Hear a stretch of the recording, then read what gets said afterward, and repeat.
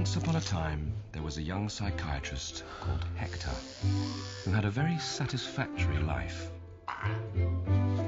His world was tidy, uncomplicated, and he liked it that way.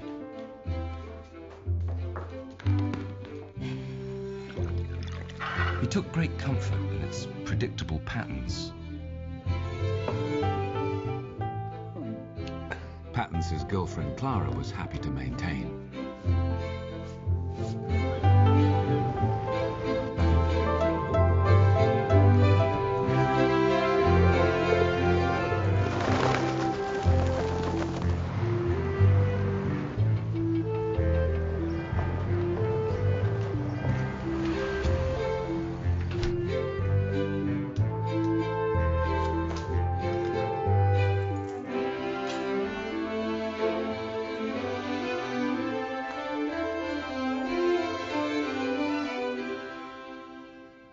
Hector had a great deal of patience for his patients, if you see what I mean.